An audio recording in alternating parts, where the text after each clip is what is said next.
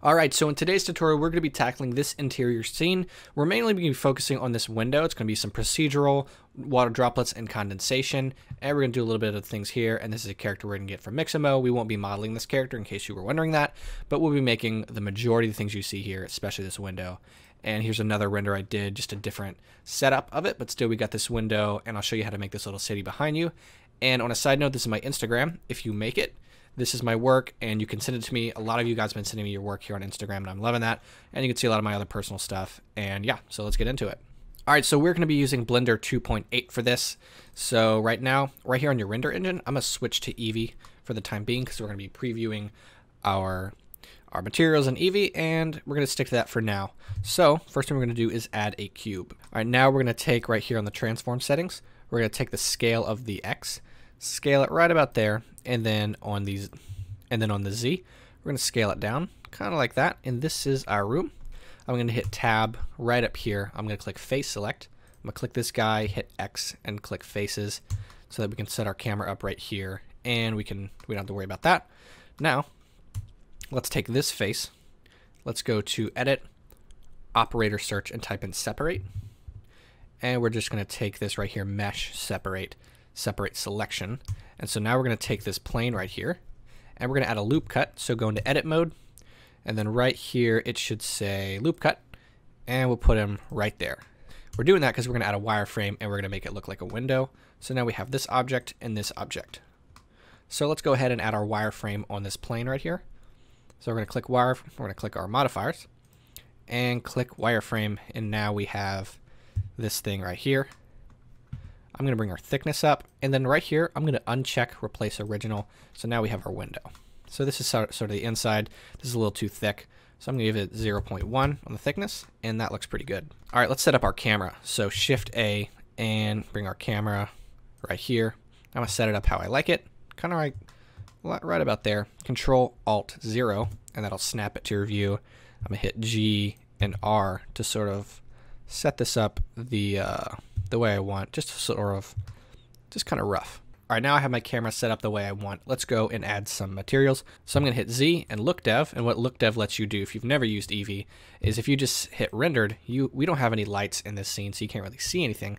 But if you go to look dev, right up here, if you click down, Blender gives you these HDRIs that you can cycle through and get these different lighting environments. So I'm gonna give this night one right here just to sort of get the vibe that we're going for. And now I'm going to select the plane with the wireframe here. And let's go to our materials. We're going to click new, and this will be the glass. So scroll down and bring transmission all the way up and our roughness all the way down. And very, very important if you're using Eevee, right down here on the bottom, right here on settings, you're going to click that and click screen space refraction and subsurface translucency. And what what's that's going to do, it's going to allow us to see through the glass Otherwise, we won't be able to see through it and it'll be basically like a window when previewing an Eevee. All right, next thing we need to do is add one more material and that is for our wireframe. So click new here, new, and let's make it metallic and pretty dark. You can see nothing happen. That's because we need to go back to the wireframe and type in material offset of two. And that's going to give us the second material in our material hierarchy. So if you say you have like seven and you want to use the third one, you would put material offset of three and it'll pick that third material for your wireframe. All right, let's go ahead and get this city. And you don't have to model an entire city. What we're gonna do is actually just get a photo and we're gonna make it emissive. So I'm gonna go up here and I'm gonna type in Unsplash right here. And all this is royalty-free photo. So I'm just gonna type in city night. And now we have all these photos at our disposal. So I would go and pick one and just sort of make it look like it's at the angle of a window, maybe like this one or this one or this one. I'm going to go ahead and I'm going to pick this guy, kind of like we're looking out of a window on the floor level. So I'm just going to download it and just save it to wherever you want, and we're going to open it up in Blender. All right, so in order to actually import planes, we need to go back to our edit, and we need to go to preferences. Right here on add-ons, type in image, and then click import export images as planes, select that little check arrow, and click Save Preferences. Now, if you go to Shift A, right here on Image, Image as Planes, and navigate to where you have it saved, mine's called Benjamin, so right here. Now, before you click Import, very, very important, right here on the Import Images Planes, click Emit, And then you can select the strength here, but we'll be able to edit that later. But I'm going to give it a strength of 30 for now and import. So now we have our image and he's right here and you can see he's emitting light and that's what we want. And you can see him. So we're going to scale it up to right, right about there. And I think that looks pretty good. Now, when we render this officially, we're going to be using cycles, so you can go back and preview it in cycles. I'm going to click on my glass here and just give up and just put the roughness up a little bit to sort of preview how that's going to look in the room. So bring up the roughness, I'm going to click rendered, and that's how it's going to look. All right, let's go ahead. I'm going to go back to Eevee, and I'm going to turn off bloom so we can go and make that procedural raindrops and condensation. So right up here, Blender 2.8 has these little presets, these workstations. I'm going to click shading and we're going to go ahead and start working on our window. I have to give a big shout out to String Fairy. He has a tutorial on right here how to make condensation in Blender, and I'm pretty much doing my own version, if not exactly what he's doing. So I got to give credit where credit's due. I've learned so much from him, and he's incredible. And I'll be shouting him out again in a future video, so look out for that. But yeah, he's amazing. Go subscribe to him, and you will learn a lot about procedural shading from that guy. All right, so first thing we're gonna do is add a noise texture. So bring that in here, and we're going to plug the noise into the roughness and you're going to see something happen. All right, now you can just see sort of what's going on, but we want to expound on this. If I were to go to the cycles preview, it's just fully rough. Nothing, you can't see you can't see what's going on. In order to expound on what's going on here, we need to add a color ramp. And so what that's going to do is going to take the black and white of this texture and it's just going to make it more extreme just like that. And if we go back to cycles, now you can see what's going on right here. It's rough, right here it's pretty much clear, and that's what the noise texture is doing. So that's what we're going to be using. So, that, so we're going to be using textures to drive where our roughness and our water drops are going to be located. So right now I'm going to bring my detail down pretty far and my scale pretty far up. Now our issue is that this doesn't look like water condensation like it's raining outside. They're kind of going this way and they're just not shaped very well like condensation would be. So we need to add two nodes. We're going to add a mapping node right here.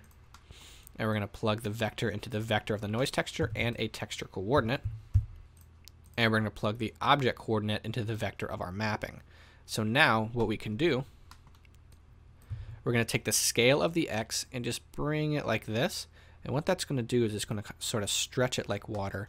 And then right here on the scale, I'm going to bring it back right about there in this area and then we'll bring the scale just like that. And now it's condensation that's being stretched downward like water is running down the window.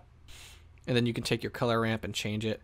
Now right now if I hit, now right now when I go to the cycles render, it's pretty extreme the the amount of condensation. So what we need to do is we take the white portion of this color ramp and if we were to bring it all the way down to the black, it would be completely gone. Or if you want to change it, say you want to add it completely rough but slightly clear, you would take the black portions and bring it all the way up, and now it's completely rough.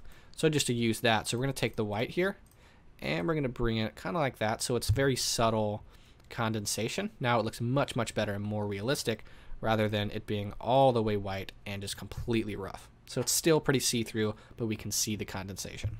All right, last thing we need to do is add our water droplets. So let's add a bump node, plug the normal into the normal here, and let's get a noise texture and plug the color into the height and we're going to see a pretty drastic change in a second. Boom, now it looks like water. We need to change that. So, of course, we need to add another color ramp. Put it right there. And right here on the scale, we're going to bring the scale up pretty far. And then once we take this black portion right here and scale it down, you're going to start seeing it happening. And then back here on the color ramp, I mean back here on the noise texture, bring your detail all the way down. And now we have those water droplets that we want. I'll put the scale at 200 and bring our color ramp kind of like that. And boom, now we have some pretty photorealistic water droplets, completely procedural and perfectly sharp. And now we have a window with condensation and water droplets. And we can zoom out here and we get the full vibe of what's going on. I'm gonna put the scale at 300 because they're pretty small. And there we go, we have our window. Right, next thing we need to do here is add a character. So we're gonna go to Mixamo. All right, so Mixamo is a free service that Adobe provides. You do not need a Adobe account. Nothing, you don't need to pay for anything for this. And you just go in and select a character. So say I picked this character, then I can go over here and click animations, and I can pick an animation right here.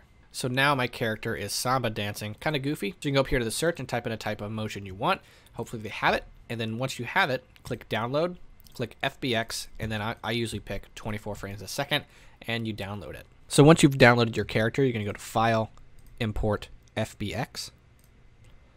And then you'll navigate to where you saved your guy. Mine's called Idle. So I'm going to click him, Import FBX. And then I can take him, move them around right here. If you want to move them around, click on armature and that's going to scale them up and down and moving it. If you click on something else, it'll get all wonky. So I'm going to put it right about there and I'm going to put it fairly close to our window and I'm going to hit Z rendered. And now we have our guy looking out of the window and we get some good reflections and things like that. All right, so I'm going to tweak one little thing here. Our room is too reflective. I just want the floor to be reflective. So the way I'm going to do that is I'm going to bring the roughness all the way up like that. Click on your click on the cube click on the cube, go to edit mode, and just go here to face select, click the bottom one. Now make a new material, click new, and then we're going to make this one pretty, pretty reflective, and then click assign, and it will assign it to the face that that's selected there. So now when you click render, only the floor here is reflective, and everything else is good. Alright, so I went ahead and changed the image I was using. I wasn't a huge fan of the final result, so I went picked this one, and it looks great. He's kind of looking out on the city if you want to see what it looks like. It's this one. But yeah, you can go in and pick an image that you like and use it, and you have this interesting looking floor. Last thing I'm going to do here on the floor for this material, I'm going back to shading. I'm going to type in a bump node, and we're going to get a brick texture. Brick texture, we're going to plug the color into the height, and now we have a nice floor with some brick on it, and that is the final render here for our room. Of course, if you don't like this composition, you can change it, and we can get it a little bit closer on our guy and have a better composition, and you can see better details in our window, just like that. And for the render settings, this is going to be a pretty hefty render if you're using cycles because this is glass, and glass looks best in cycles, but it'll be noisy. So here on the render, we're going to give it 500 samples, and then over here, give it denoising and keep it at the default settings. And then you'll go up here to render render image. So there you go. If all goes well, you'll get a really cool image. Play around, be creative. I added some lights up here, and I did some post-processing in Photoshop, did some dodging and burning, and add a little light there. So if you can do that, have fun, and thanks for watching the tutorial.